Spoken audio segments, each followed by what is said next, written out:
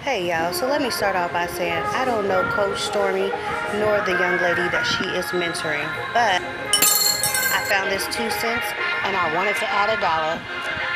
Now I don't know what kind of barbecues y'all been going to, but the barbecues in the hood still remain the same.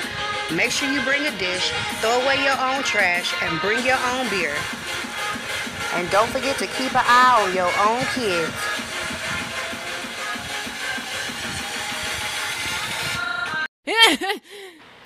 Now here we have the hood plate.